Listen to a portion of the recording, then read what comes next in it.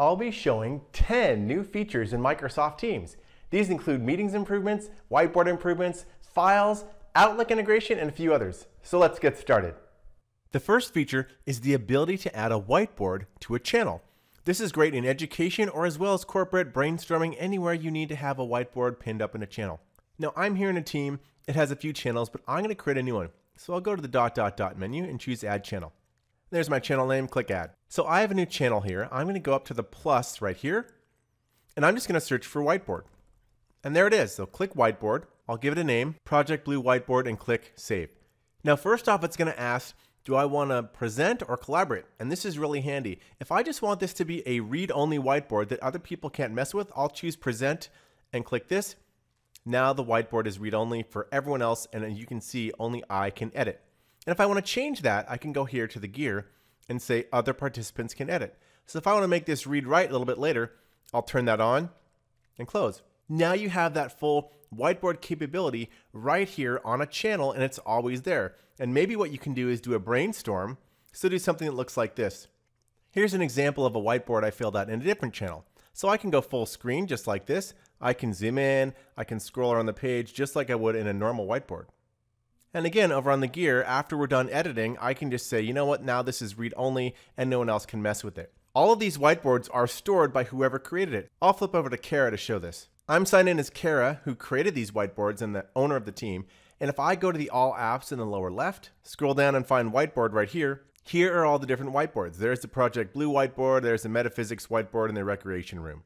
The second new feature is Presenter View in Teams. This is the new one that just rolled out that gives you the ability to see notes and videos and chat and everything else all in one view.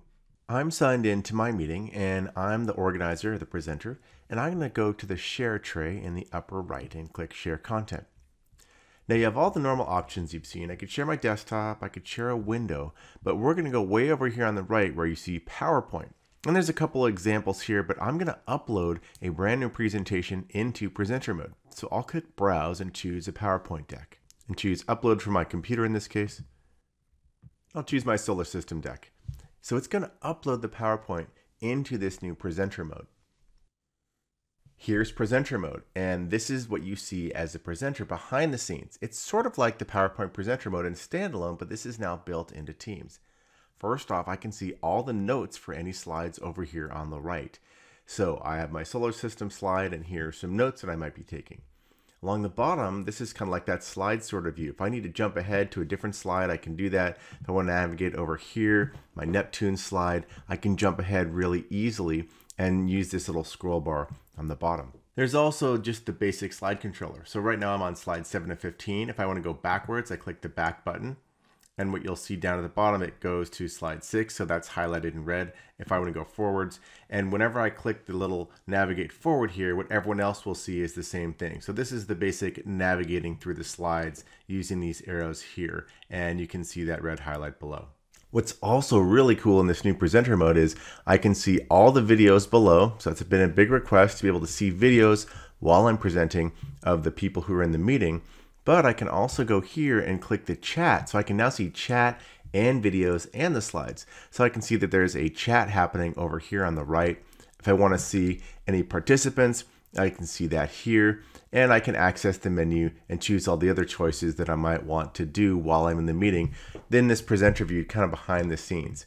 The third feature is some improvements to files and how they're handled. I'm going to go to Files here.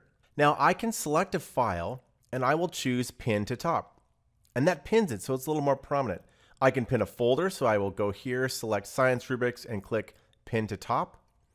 And I'll pin one more, the Solar System. Pin to top. Now the other thing is, is you can change the order. So I will select Solar System here, and on the dot dot dot menu, choose Edit Pin, and I'll say Move Right. So now I move that to the middle. Now other people who come in here will also see these pinned across the top. To unpin something, I just select it like this, go to the dot dot dot menu, choose edit pin, and then unpin. The fourth feature are improvements where we bring in SharePoint views to the Files tab in Teams. So if I go here to All Documents, I can choose Tile View now. And now these are tiles. And these are just personal to me, so other people don't see this view. This is just my view of the files. I can drop down documents and choose Compact List. I can also do save current view as, very much like SharePoint view. I could say Mike's favorite view, and I could make this public view. So I could save this. Now, other people, when they come in here, they can drop it down and they will see, oh, Mike's favorite view. This is the view that Mike really likes. And I can edit the current view. Again, very similar to SharePoint. This will launch you out into the full SharePoint view editing experience. I'm not going to do that right now, but you can create really interesting views and then save them into your files inside of Teams.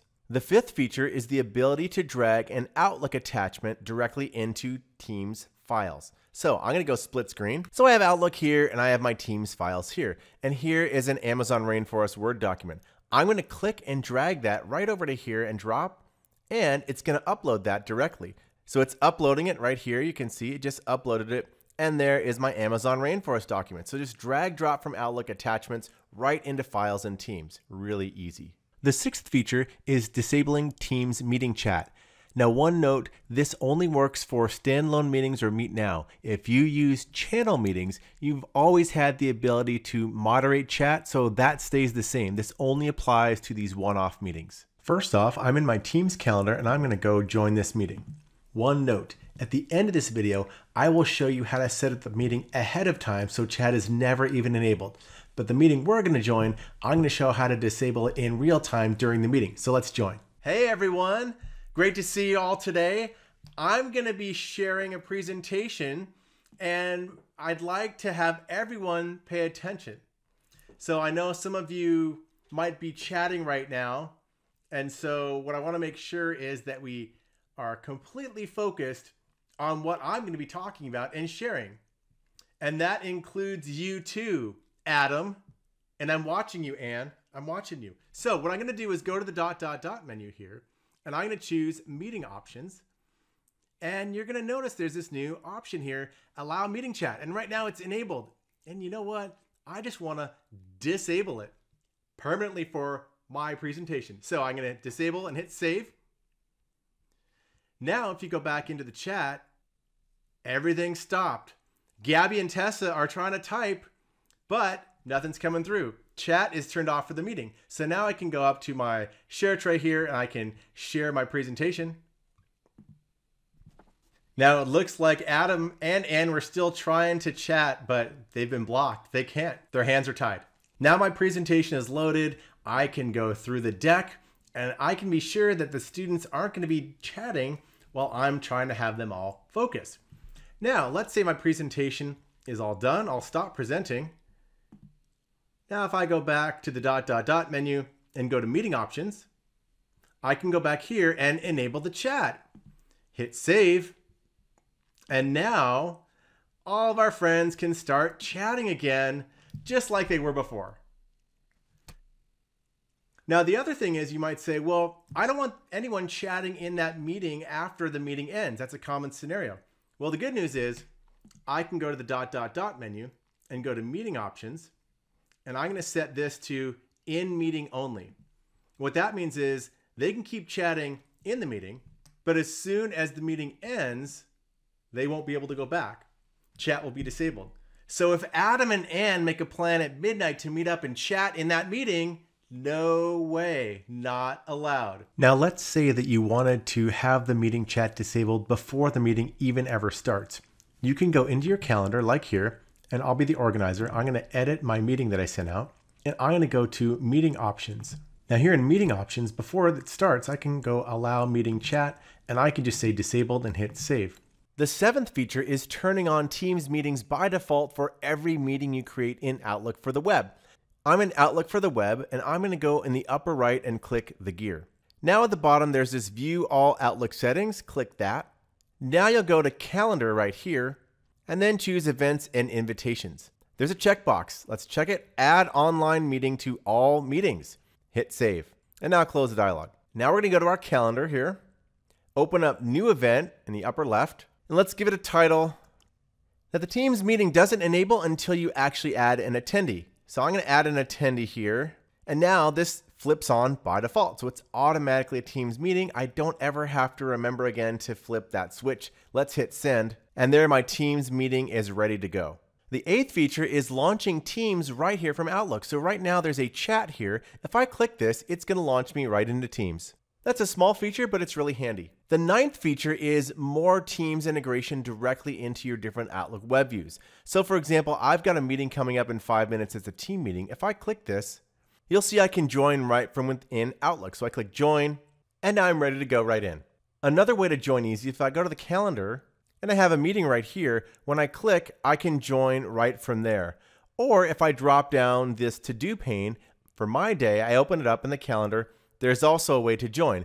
So there's lots of ways to make it really fast to join a Teams meeting right from Outlook Web. The 10th and final feature is adding a channel calendar to your team. I'm here in Teams and I'm signed in as Kara the Educator and Kara has set up an office hours channel right here and she's got a channel meeting that she's already created. It happens every day. So what Kara wants to do is create a calendar for this channel that anyone in the class can go and check out. And this doesn't just have to be education, it can be anyone who has channel meetings. I'll click the plus to add a tab. And here's channel calendar. If you don't see it, you can search for channel calendar. I'll click it, click add, and we'll give it a name. And I'm just gonna leave it as channel calendar. Click Add. Now it immediately puts me into the channel calendar and you can see it's added this as a tab at the top. Now I can see all of the channel meetings that are in the office hours channel meeting calendar. If I want to add a new channel meeting, it's really easy. I go up here, I drop this down, choose schedule a meeting. We'll give it a title and it's going to be in the office hours channel in my science team and we'll make that start at 4 p.m. and we will send that out and now you can see it's automatically right here in that channel calendar. One note, currently you cannot open this up in Outlook and you cannot, it doesn't link to SharePoint in the same way. If you've added a SharePoint calendar and pinned it in here, it doesn't do that. So this is just part of this team as a channel calendar tab. If you found this video useful, give it a like. Now, if you want to keep up with all the latest quick tip videos that I'll keep releasing, subscribe to my channel and then just ring the bell so you get notified for all the new videos that post.